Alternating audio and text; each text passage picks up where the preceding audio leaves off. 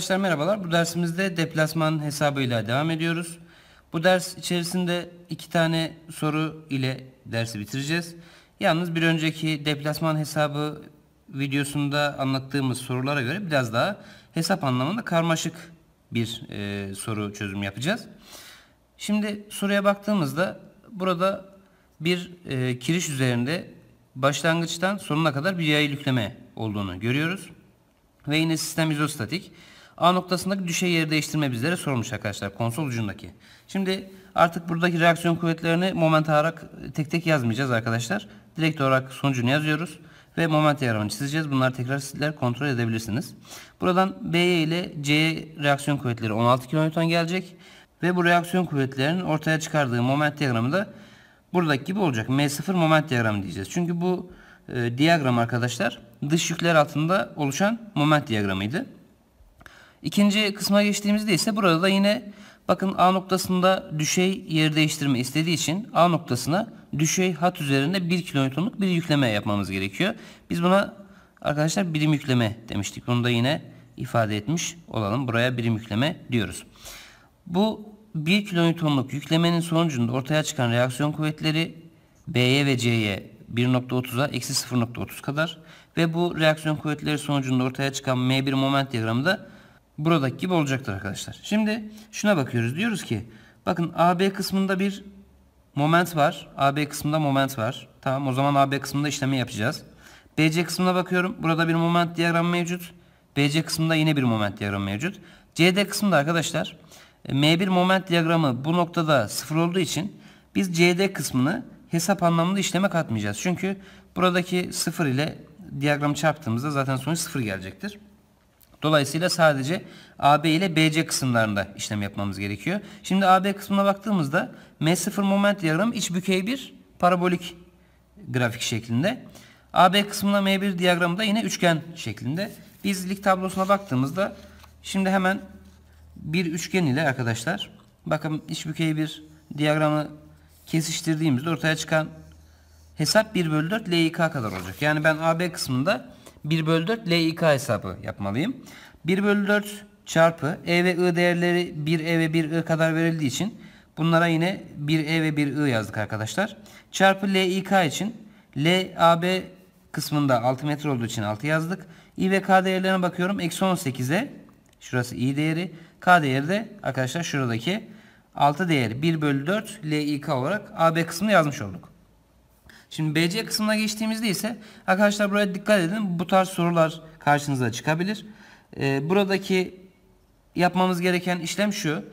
Biz aslında diyagram olarak BC kısmındaki üçgen ile bakın şu taradığım kısımlar çarpmaya çalışıyoruz. Yani aslında bizim diyagram olarak çarptığımız kısımlar taradığım siyahla taradığım kısımlar ile arkadaşlar bakın şuradaki iki tane eksi bölgedeki küçük kulakçık ve alt bölgedeki parabolün ana hattını oluşturan kısmı biz çarpıyoruz aslında işlemsel olarak. Yalnız şu bizim için e, problem oluşturacaktır. Mesela bunun nerede kestiğini hesaplayabilmek biraz zor. Bunu hesapladıktan sonra da bakın burası ikinci derece bir parabol ama bu e, sıfırlanan noktadaki mesafe ile şurada bir yamuk oluşturacaksınız.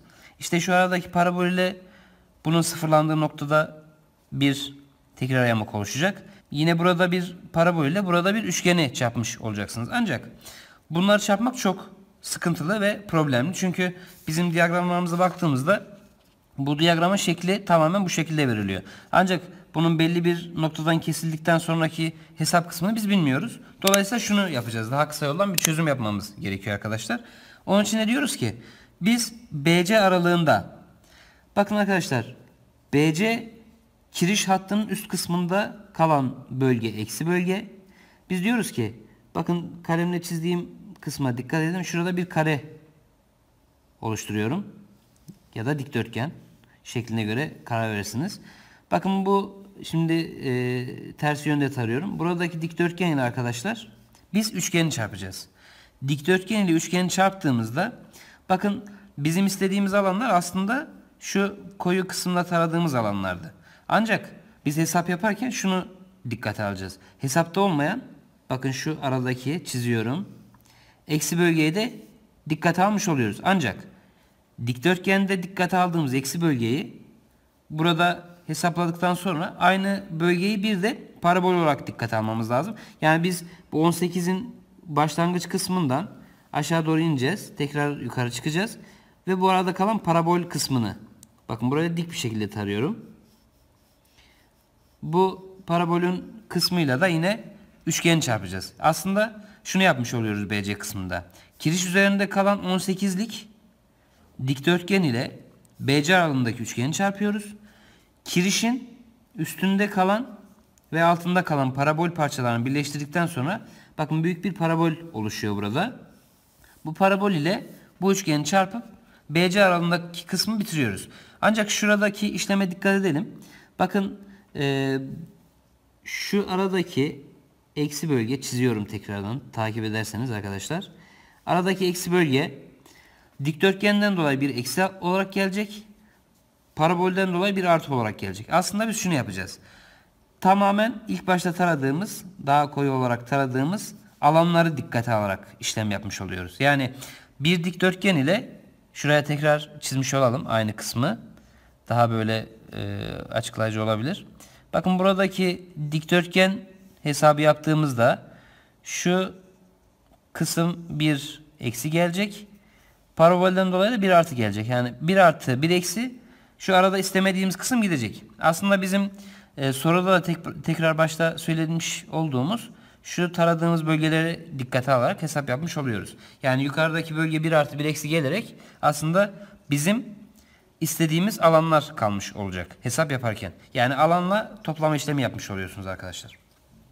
Dolayısıyla dikdörtgen çarpı üçgene baktığımda buradan dikdörtgen çarpı üçgenin değeri arkadaşlar 1 bölü 2 LYK kadar. Onu yazıyoruz.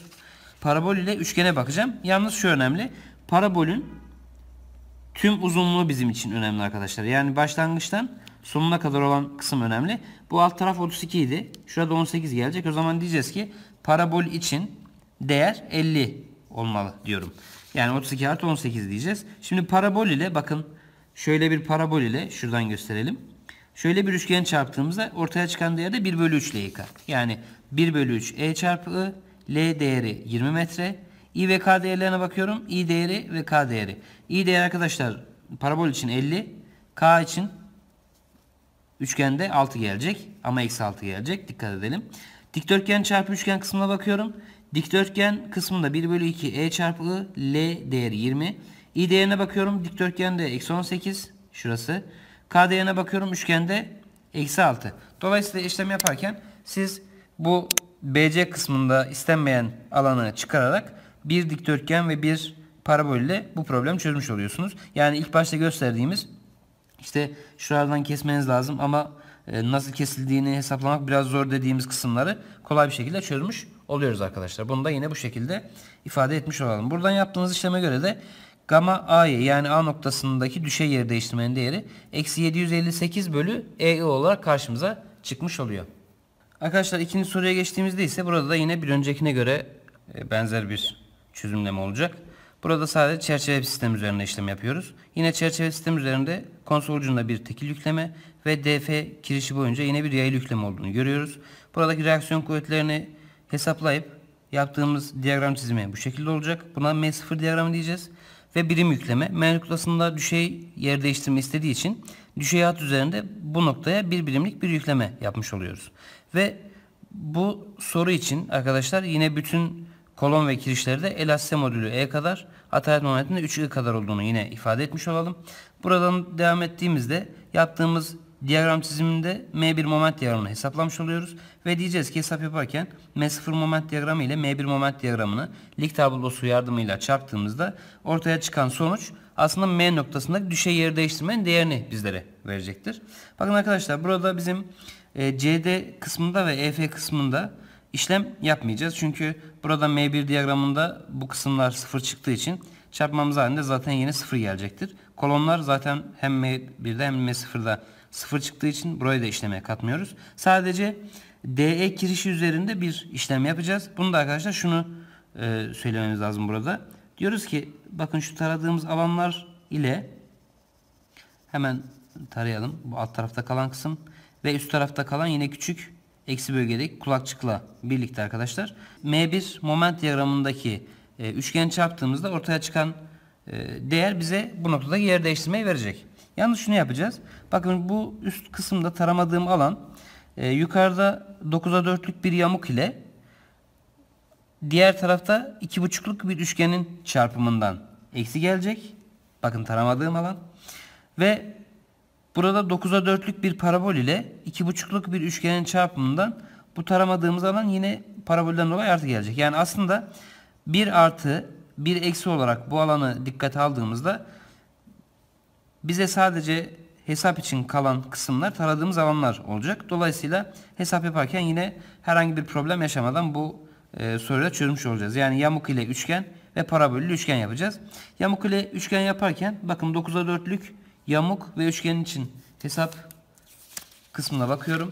Dik tablosunda diyoruz ki arkadaşlar yamuk ile üçgene bakacağım. Yalnız üçgen şuradaki üçgen olacak. Diğer üçgenler gibi değil. Yani hesap olarak 1 bölü 6 L çarpı K çarpı 1 artı beta çarpı I1 yani küçük kenar artı 1 artı alfa çarpı I2 büyük kenar. Şimdi alfa ile beta da şu arkadaşlar.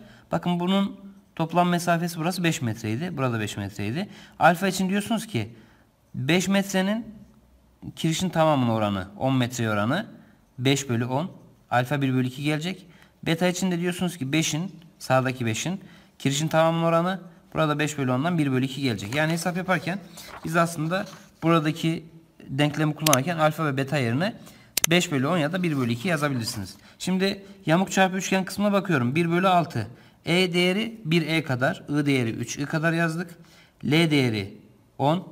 I değerine bakıyorum arkadaşlar. Pardon K değerine. Burası 2,5 gelecek. Çarpı 1 artı. Burası alfa. 5 bölü 10. Çarpı I1. I1 arkadaşlar yamuğun kısa kenarıydı. Yani 4 olacak. Ancak eksi bölgede olduğu için yani kirişin üstünde olduğu için eksi 4 diyeceğiz tekrardan. Artı diyorum. 1 artı beta burası 5 bölü 10 çarpı yamuğun uzun kenarı yani eksi 9 diyeceğiz. Buradan yamuk çarpı üçgen kısmını hallediyoruz. İkinci kısma geçiyorum. 9'a 4'lük parabol ile üçgen çarpmamız lazım. Yalnız bakın şurası arkadaşlar 18,5 kadar. Bizim şu aradaki mesafeyi de hesaplamamız lazım. Çünkü parabolde arkadaşlar hesap yaparken maksimum nokta üzerinden hesap yapmamız gerekiyordu. Burası da tam orta noktada olduğu için yani 5 metreye 5 metrede olduğundan dolayı 9 artı 4 13 bölü 2 diyeceğiz. 6,5 gelecek. Yani 18.5 ile 6.5 topladığınızda elde edeceğiniz parabolün değil 25 kadar olacak. Bakın parabol ile üçgen çarpımına bakıyorum arkadaşlar. Hemen gösterelim. Parabol ile üçgen çarpımına bakıyorum. Şuradaki denklemi kullanmamız lazım. 1 bölü 3 L çarpı 1 artı alfa beta I ve K. 1 bölü 3 yazıyoruz. E ve I değerlerini yazıyoruz. 1E'ye 3I. L değeri 1 artı alfa beta 5 bölü 10'a 5 bölü 10 çarpı I ve K değerlerine bakıyorum. I değeri arkadaşlar 2,5. K değeri de 6,5 artı 18,5'tan 25 değerini almış oluyorsunuz. Buradan yaptığınız hesaba göre 1075 bölü 18 EI olarak M noktasındaki düşey yer değiştirmeyi hesaplamış oluyorsunuz arkadaşlar.